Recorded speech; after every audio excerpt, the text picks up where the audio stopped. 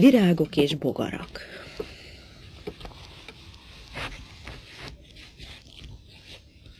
Mikor az első cserebogár végig keringél a füvek és virágok fölött, mindig azt gondolom, íme a vőfély.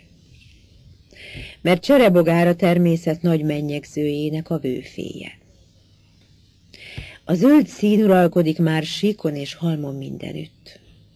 Egyes fák tetőtől talpig hófehér csipkében. Azok a menyasszonyok. Más fák halavány piros sejemben. Azok a vőlegények. A lábuknál finom, puha fűszőnyek. És éjjelenként susognak, izengetnek egymásnak, egymás felé terjezgetik a karjaikat, egymásnak virágot küldenek, a levegőt tele lehelik édes sóhajtásokkal.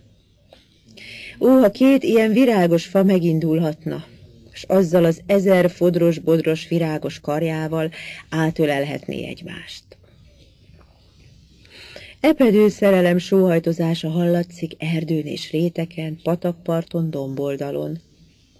A virágok egymás felé hajladoznak, a fűszálak egymáshoz simulnak. A pipacsok remegve hajlanak át egymás vállán. A folyókák átfonják a búzavirág derekát százszorosan, és a szív alakú kis zöld levelek bizonyára azt rebesgetik. Én szép, kedves kék búzavirágom, én szerelmesem. És a gyöngyvirágok, a szemérmetes, üde gyöngyvirágok, az erdővirág népének fehér kis szűzleányai, félénken és alázatosan hajolnak meg a széles, zöld levélpalást alatt, némán várják a vőlegényt, akit mi nem ismerünk. Valahányszor a gyöngyvirág illatát érzem, mindig valami csodálatos, álomféle mámor fog el. Az erdei tündérek mesét ilyen mámorban álmodta meg az emberi fantázia. Tündérek nincsenek, mint ahogy mindenről azt mondjuk, hogy nincsenek, amiket nem látunk. De hát elhinné-e valaki, hogy van ez a csodás finomságú, szűzies, édes illat, ha soha nem érezte? Ha olyanok az angyalok, mint aminőknek a keresztény képzelet festi őket, a lelkük nem lehet más, csak a gyöngyvirág illata. Behunyom a szemem, és boldogan szívom ezt a tiszta, édes mennyvilág illatot. Elmémből eltűnik a föld képe és minden földi gondolat. Új lélek költözik belém, testem sincs többé, a gyöngyvirág lelke más világba lengeti egy pillanatra az én lelkemet. Másik világba, amely csupa titok, csupa finomság, csupa boldogság. Micsoda okos és boldog teremtés a pillangó, hogy a virágok között tölti az életét. Ő maga is virág, csak hogy repülő virág amint itt lebeg előttem, hol a napsugárban, hol az árnyékban, hol a virágok vállain, úgy érzem, mintha őt jobban megilletni az emberi név, mint bennünket. Nehéz testű, redős homlokú, morzsa hordó óriás hangyákat, akik csak eltaposni és letépni tudjuk a virágot, és a tiszta ég helyett a földön jár a tekintetünk.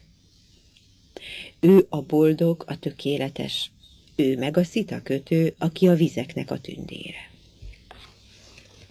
Mert ha a pillangó a repülő virág, akkor a szitakötő meg a repülő drága kő. Repülő zafírok, topázok, gránátok, meg türkiszek.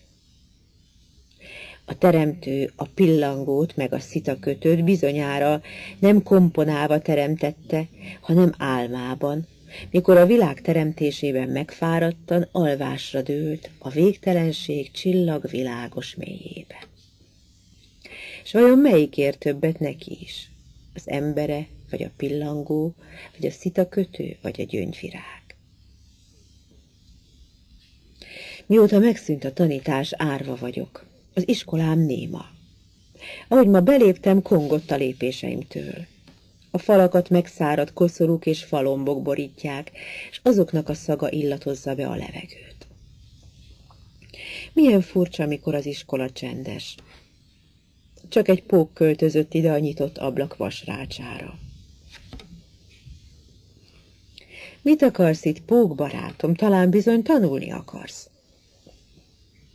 Dehogy is akar tanulni ő kigyelme. Vadászterületet csinált az iskolából. Úgy ül ott a hálója közepén, mint a lesi puskás az erdőben. Sokszor elnézem, hogyan vadásza a szunyogokat meg a legyeket.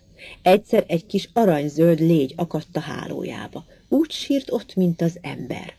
Kiszabadítottam.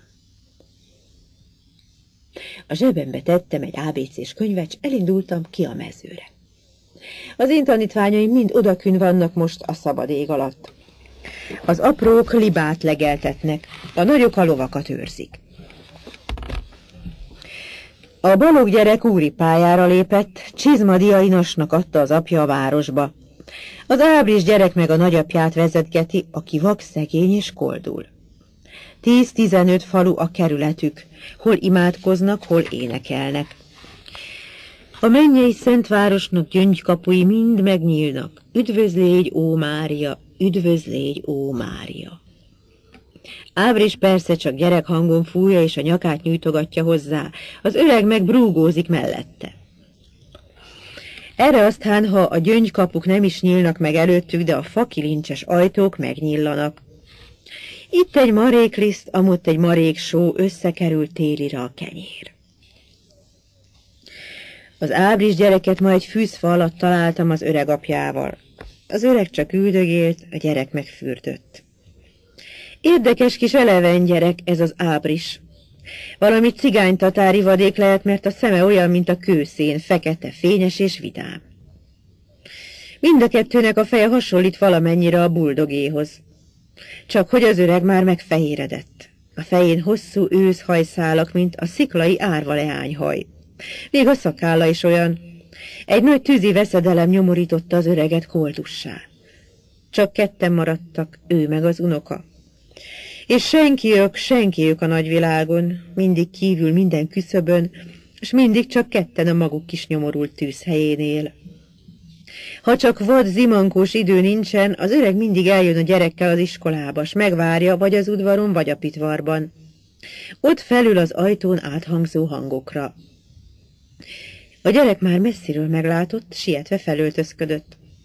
Az öreg leült az árnyékba az út mellé, a gyerek pedig elém szaladt födetlen fővel, azon hajavizesen, s örömmel szorította meg a kezemet. Én nem engedem, hogy nekem kezet csókoljanak. Leültem melléjük az árnyékba, s elővettem az ABC-s könyvet. Ábris gyerek már a K-nál van. No lássuk, felejtette valamit, mióta nem találkoztunk. Olvas, Ábris fiam! És a gyerek a betűket egy fűszállal kísérve olvassa. K, ok, sok, mák, pék, köz, köd, eke, kár.